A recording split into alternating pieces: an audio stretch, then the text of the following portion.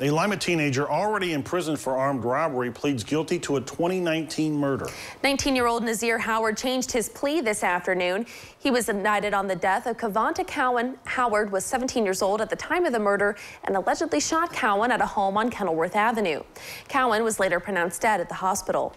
As part of Howard's plea agreement, prosecutors dropped another murder charge and a weapons while under disability charge. Howard will be sentenced next month and could get 15 years to life for murder. Howard is currently serving a 14-year sentence in prison for robbing Hermes Party Shop and Little Caesars back in January of 2020.